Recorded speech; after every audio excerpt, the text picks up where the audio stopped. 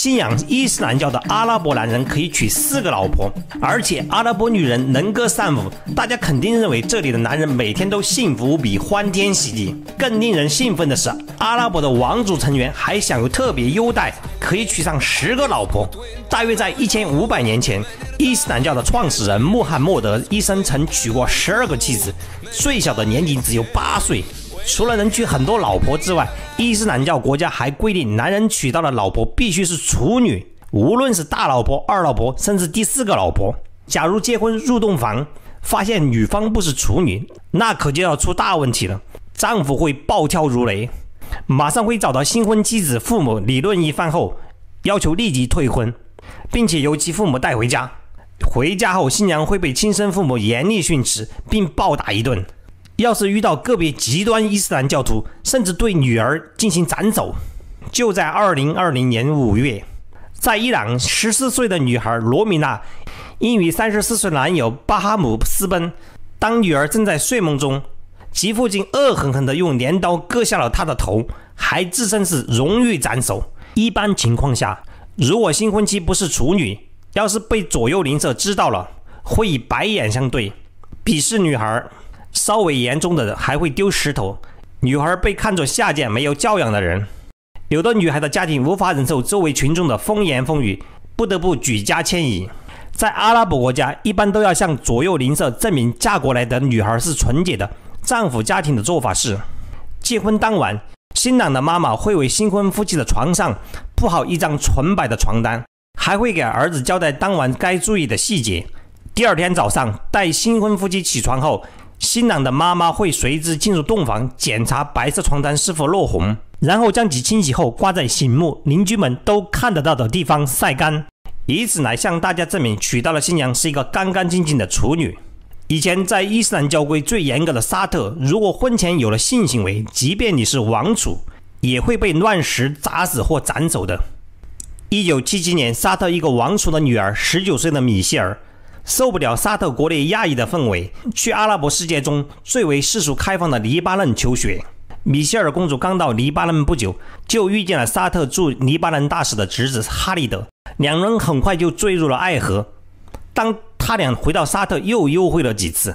很不巧，不知道被谁看见了两人的幽会，暗中向王室举报两人的通奸行为。这下可出大祸了，因为在那个时候，在沙特婚前性行为是要杀头的。公主不得不男扮女装，试图与恋人哈利的逃离沙特。当他们到达机场准备出关时，被边检人员认了出来，出逃计划落空。结果，米歇尔公主被蒙上双眼，公开处以实刑。她半跪在地上，被她的亲戚用石头活活砸死，而男友哈利德则被绑在一旁，被迫看着米歇尔死在自己的面前。之后，他也被米歇尔的一名男性亲戚用刀斩首。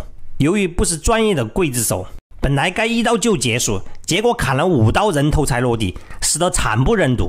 所以，阿拉伯的女孩为了结婚当晚落红，生活上是非常小心翼翼的，守身如玉，处处约束着自己的行为，活得非常压抑。比如，一般女孩不敢做剧烈运动，不骑马，不跑步，更不会踢足球了。除此之外，和家族以外的异性保持较远的距离。女人习惯留在家中，一般不爱抛头露面，几乎足不出户。沙特等保守的伊斯兰教国家，女人出门时从头到脚用黑色的袍子包住，戴上面纱，将身体裹得严严实实的，只露出两只眼睛，目的就是不让男性看清自己的面貌，保持与男性之间的距离。女性一般十五六岁就结婚了，拥有了自己的家庭。为什么伊斯兰教允许信仰者娶四个老婆呢？一般教徒会这样说。因为伊斯兰教的创始人穆罕默德时期战争频繁，有许多的人战死，其家属的女子无家可归，所以南教徒可以收容四个女子来解决这些可怜的女人以及留下的孤儿问题。其实，之所以实行一夫多妻，是有环境原因和历史原因造成的。在沙漠地带无法种植粮食，当地大部分是游牧民族，只能携家带眷逐水草而居。沙漠不同于草原，水资源、草被植物有限。常常为抢绿洲水源而发生战争，男人多半会有伤亡，战败一方的女人自然成为胜利者的女奴或妻妾了。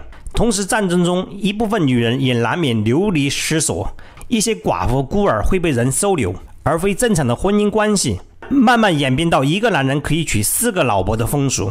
因此，伊斯兰教最初允许一夫多妻的原因，并不是仅仅为了满足男人的原始欲望，是为了解决因为战争而留下的寡妇的基本生活问题。当然，后来允许一夫多妻，还是考虑了男性的欲望问题。伊斯兰教认为淫乱罪是非常可耻的行为，但又担心一些男教徒做出一些伤风败俗的事，破坏了宗教的和谐与稳定。为了避免产生淫乱行为，就干脆规定男子可以娶到四个妻子。如果有多个妻子的话，就能大大降低男教徒出轨的几率。伊斯兰教还赋予了男人一个特殊的权利，就是可以休妻，休掉旧妻可以重娶新妻。每个伊斯兰教徒有娶四个老婆的权利，所以伊斯兰教国家的男人真的是幸福无比、欢天喜地吗？实际情况不是这么简单。大部分伊斯兰教徒并不能实现一夫多妻的愿望，原因很简单，养不起。可以说，一夫多妻是给王族土豪的特权。伊斯兰教规定，丈夫抚养妻子是义务。结婚的前提是丈夫必须保证妻子的生活，妻子是不需要去外面工作的。对于一夫多妻，伊斯兰教中最重要的经典《古兰经》里面有对男人的规定，内容如下：你们可以娶你们热爱的女人，两个、三个、四个都可以。但假如你们不能公平的对待她们，那么你们就只可娶一个，所以伊斯兰教允许娶四个老婆是有先决条件的，那就是老婆要公平对待，不能偏袒其中一个。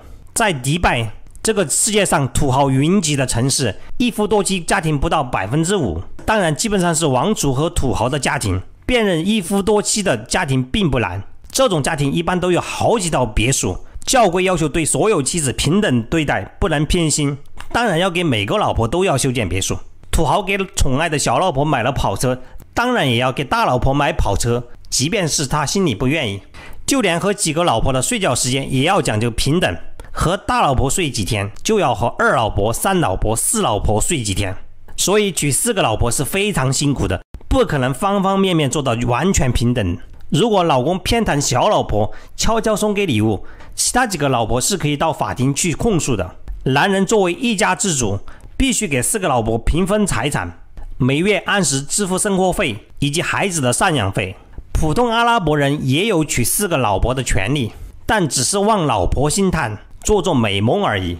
普通人要是娶四个，那就是不想活了，会被沉重的家庭负担所压扁。大部分阿拉伯人还是认为一夫一妻更好，要平等对待四个老婆是极为困难的。物质上做到平等。对王族土豪来讲并不困难，但精神上做到平等几乎是不可能的。一般男人容易宠爱年轻漂亮的小老婆，疏远衰老的大老婆。当四个老婆都有自己的孩子的时候，面对成堆的孩子，家庭开销成倍增长。除了王族和土豪，普通人恐怕没有这个经济实力。